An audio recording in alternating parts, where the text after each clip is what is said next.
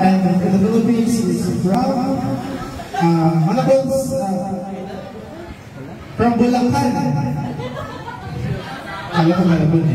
It's from, from Bulacan. Ladies and gentlemen, let's welcome Christine Ayurusan.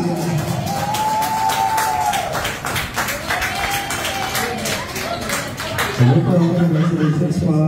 Hindi kayo yung lang po. Ayan. So, saan po nakita tong The Voice of My Family sa Sweden?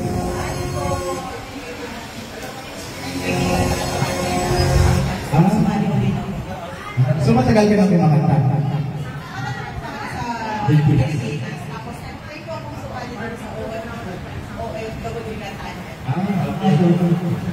So, I guess ready ready ka na ba? Uh, by the way, uh, sa mga sasali din po, uh, mayroon po tayong uh, video dito na live test production. Natabangan niyo po yung video dito. Um, my name is Christine Rosario. Um, from Hanggang po ako.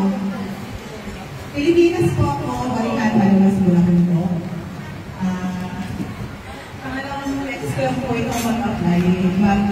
tradisyon. Pwede na siya.